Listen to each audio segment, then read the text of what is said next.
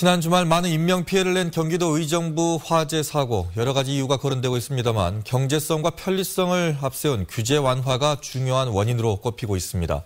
광주에도 원룸과 오피스텔, 주상복합 건물 같은 도시형 생활주택이 상당히 많습니다. 송정근 기자가 현장을 긴급 점검해 봤습니다.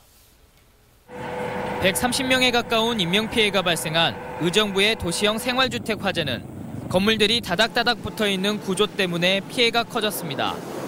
아파트는 건물 사이의 거리가 최소 6m 이상 떨어져 세워져야 하지만 도시형 생활주택은 이런 제한이 없습니다. 광주에 있는 도시형 생활주택을 확인해 봤습니다. 상업지구에 위치한 이 주상복합 건물은 건물과 건물 사이의 거리가 1m에 불과합니다. 양손을 뻗으면 두 건물이 닿을 정도로 가깝습니다. 소방차가 이제 안으로 진입 못하니까 좀 낮잖아요. 이게 그거 낮거든요. 좀 그것 때문에. 뿐만 아니라 불이 나도 소방차가 건물의 특정 위치에만 댈 수 있을 정도로 접근성도 떨어집니다.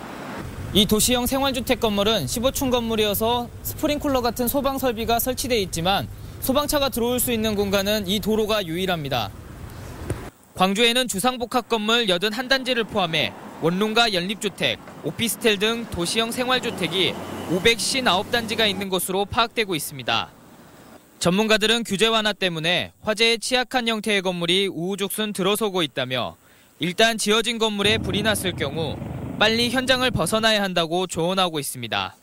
가장 중요한 거는 초동 대처하고 두 번째 이제 건물 간의 이격거리가 아닌가 저는 그런 생각이 듭니다.